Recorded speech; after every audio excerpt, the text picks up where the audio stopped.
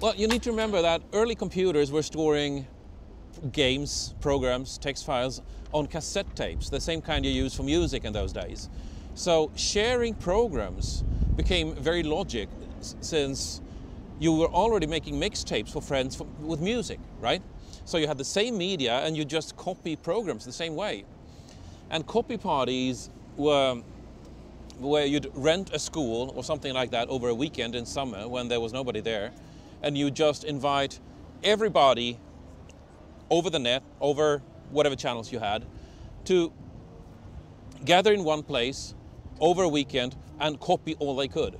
So you'd like everybody would bring their collection, and you'd typically bring a number of blank discs, blank tapes, blank media, what have you, and come home with about about three times as much as you went there with. You didn't do it online, but you met people, you copied their data, they copied yours, and that's how data spread. And what kind of data was, was it? Games, mostly, was not so much video, music in those days. I mean, music started basically with the Fraunhofer MP3 codec in 1994, became 90, popular in 1995. So in those times was mostly games and a few text files. When the internet arrived, what mostly changed was that you didn't need your feet to move data on large scale any, on a large scale anymore. The only thing that really changed, I'd say, was the volume of it and was the availability of it. I mean, we'd always shared music. We'd always shared video when you had these clunky video cassettes, right? If you had two if you had two video cassette recorders, it would copy and it would copy as soon as somebody wanted to copy copy things. I mean, it would be busy doing that. We've been sharing code, sharing insights, sharing games, sharing entertainment. This was a culture, and was the entire youth growing up with computers and the net that carried this culture.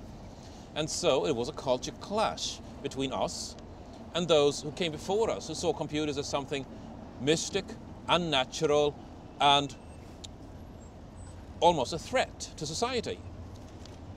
So there was a growing frustration with how politicians demonized the entire first computer generation and then the next generation after that, the net generation.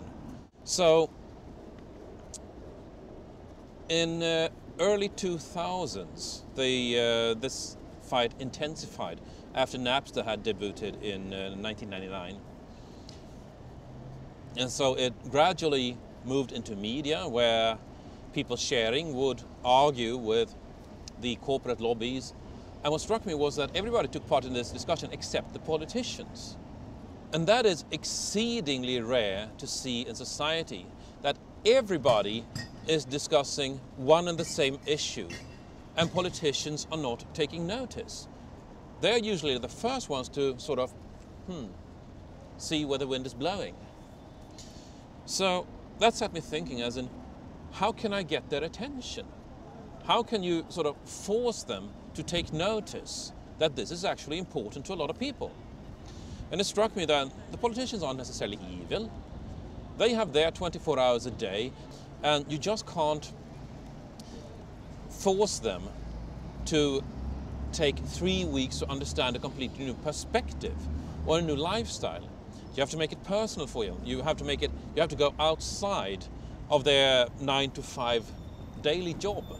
And the way to make it personal for them was basically to say that, hey guys, you need to start listening to us or we're going to take your job from you. That worked. I mean, it worked wonders. I founded the Swedish Pirate Party on January 1st, 20, uh, 2006.